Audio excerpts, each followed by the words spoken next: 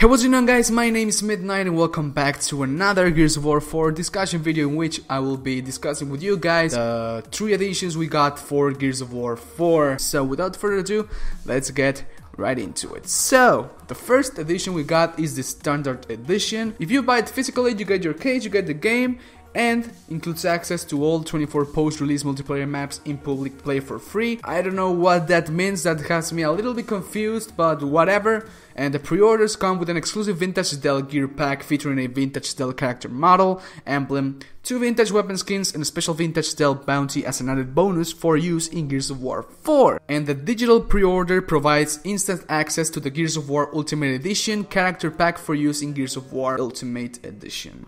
So, that is standard edition. So moving on to the Gears of War 4 Ultimate Edition. This is what really grabs my eye. Early Access Ultimate Edition is your gateway to early access to the game, allowing you to play from Friday, October the 7th, 4 days before the release date. This applies to both physical and digital editions of the game. And that, I goddamn love it. My only problem when this was announced was that this was only on the digital edition of this Ultimate Edition Gears of War 4 game. And you know, I love pre-ordering physical copies, getting the copy of my game, put it on my cabinet or bookshelf, showcasing the game on my room. I really love that. I love the smell of of a new game.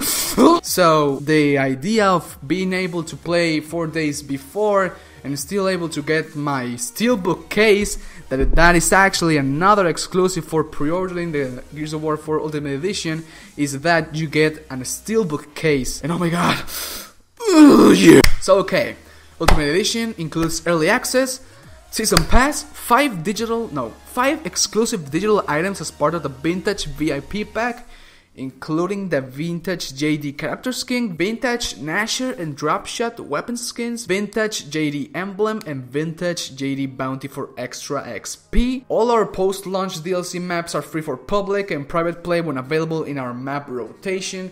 So this go I think this is going to be a little bit like CS:GO that the maps are going to be in a rotation, like when you I don't know um, Nuketown, no, Nuketown, wow, um, Nuke you know, sometimes Nuke from CS:GO gets on the off-season poll. I don't know how to, I don't know how to say it, but still, you get the point. The season pass offers you ownership for over 24 additional maps, two per month for a year for private play on dedicated servers, so you can use any of the maps at any time with your friends.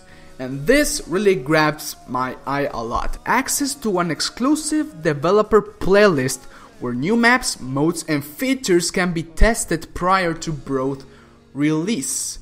And this is saying that yes, we're going to get new maps, but we're actually going to get new modes as well later in the game in some DLC or in some free uh, updates like Halo does. 6 gear packs with unlock special character and weapon skins and XP boosting bounties. You get basically 6 cases to open for free. And now for the collector's edition, the one I am not going to be able to afford because I am poor as hell.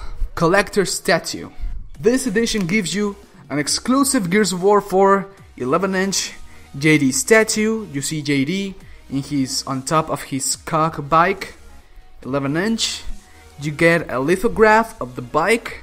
You get a frag grenade keychain and a premium packaging. To be honest, I want this edition. I want it so bad. That premium packaging looks so damn epic. And the JD statue, I want it so bad. I want it so bad. Why can't I have it? Why? Why can I not get that sweet, sweet YouTube money? Oh my god. That YouTube money. Uh, YouTube money. Well, we don't know. Maybe in these five months, my channel can actually skyrocket and get all that YouTube money. Thank you guys so much for watching. If you guys like the video, slap a like on it. I'll see you guys in my next one. Bye bye, take care, and I love you very, very much. Thank you for watching, I really do appreciate it. Bye bye.